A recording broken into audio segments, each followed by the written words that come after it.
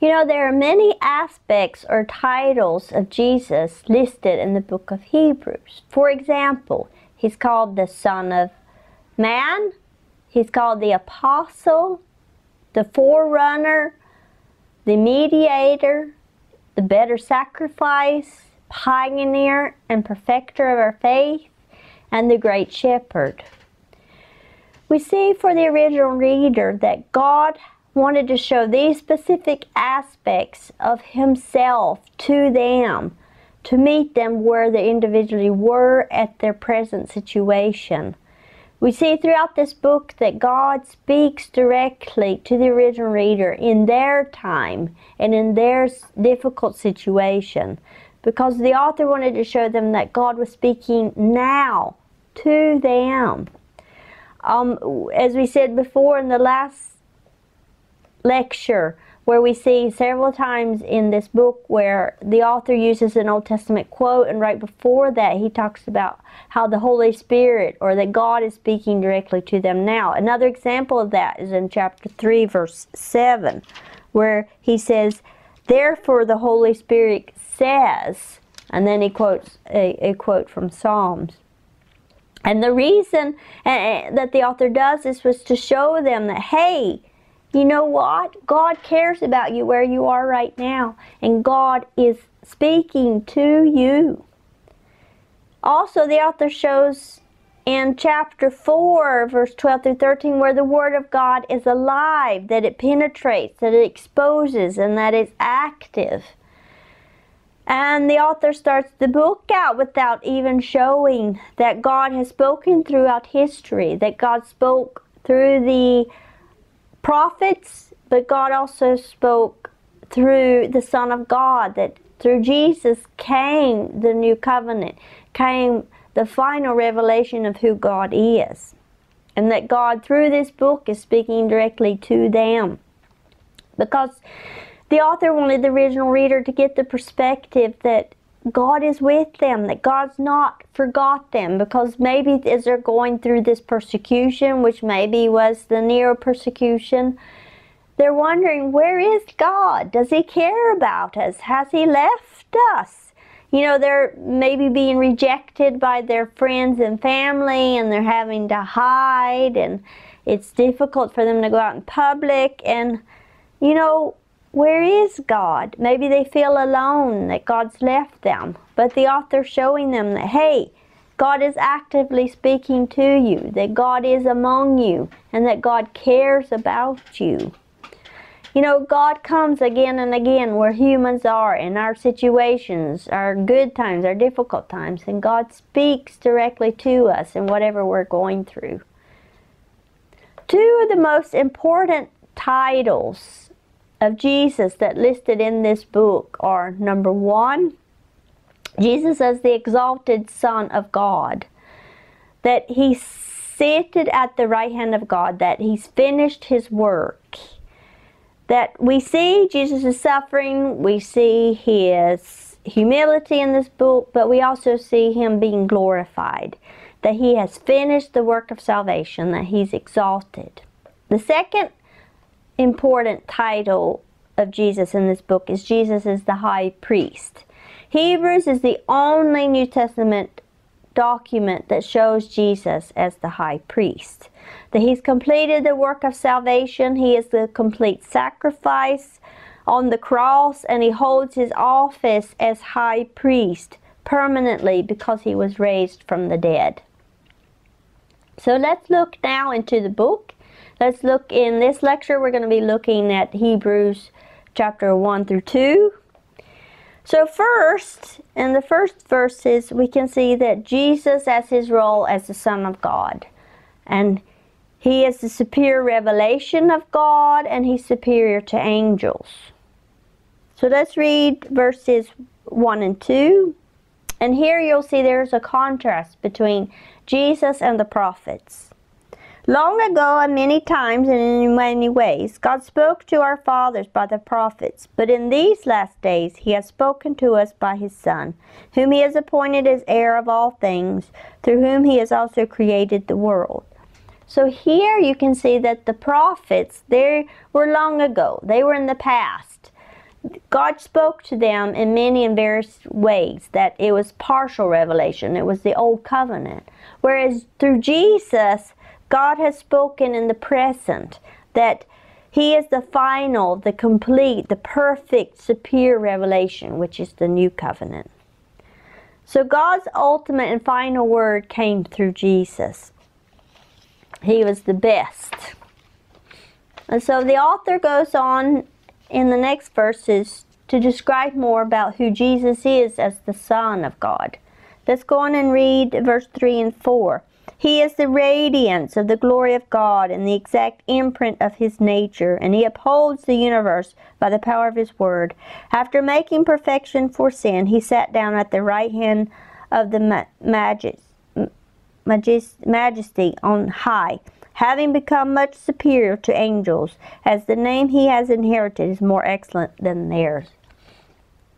So here we see that Jesus is the eternal, the pre existing through whom God created the world, who now sustains everything by his word. And so in these first four verses, we they're really compact with who Jesus is. So take time to think and meditate about why the author starts the book this way, of why he describes Jesus in such great depth. And think about what does this really mean? One important phrase, though, that we see introduced here and continue throughout the book is the idea of Jesus sitting on the right hand of God.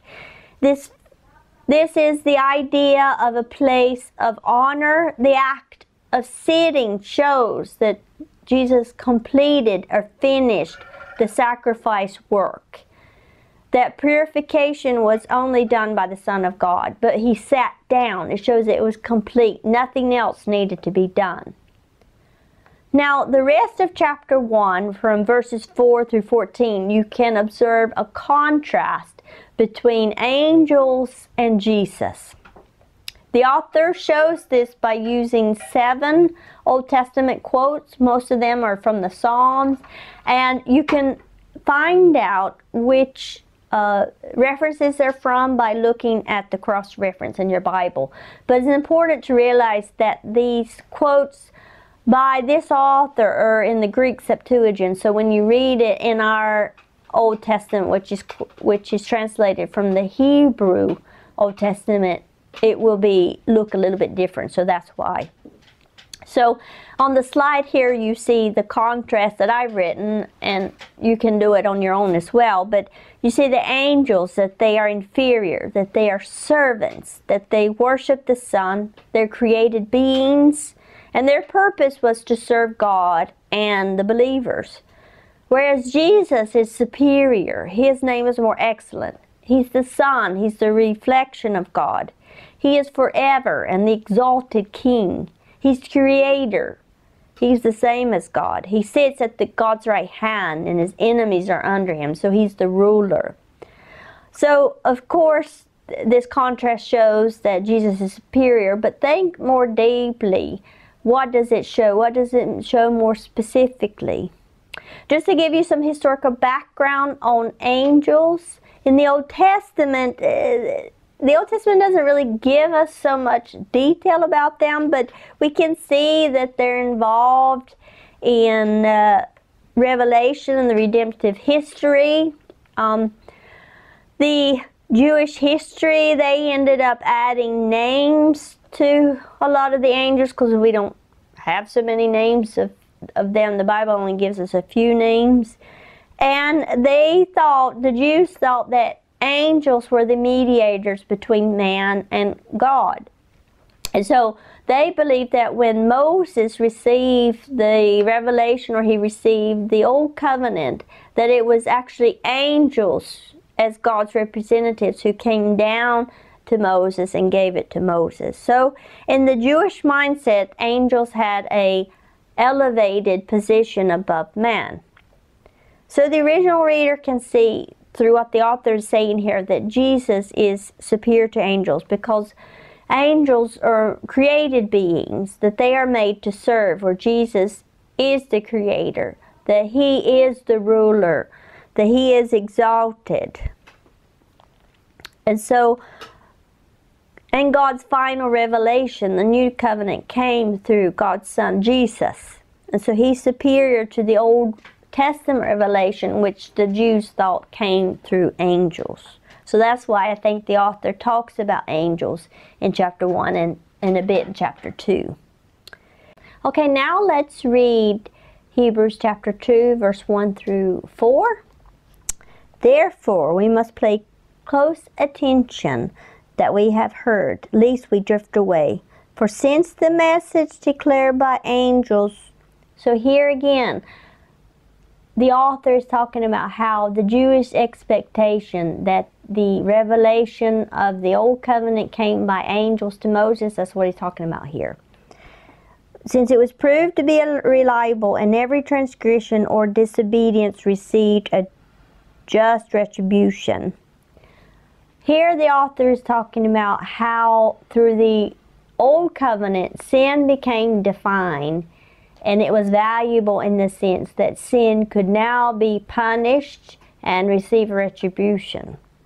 Going on in verse 3 How can we escape if we neglect such a great salvation? It was first declared at first by the Lord, and it was attested to us by those who heard, so through the apostles.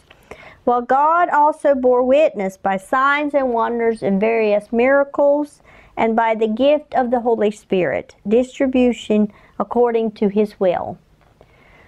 So the author emphasizes here that the original reader are not to drift away. The, the picture here of drifting away is like a boat that should be anchored to the land, but it's not. It's just drifting out into the sea or to the ocean. And so he's telling them that if they do not hold fast to the salvation that they have, that they can also drift away. He also encourages them not to be tempted to lose heart, to have hopelessness here.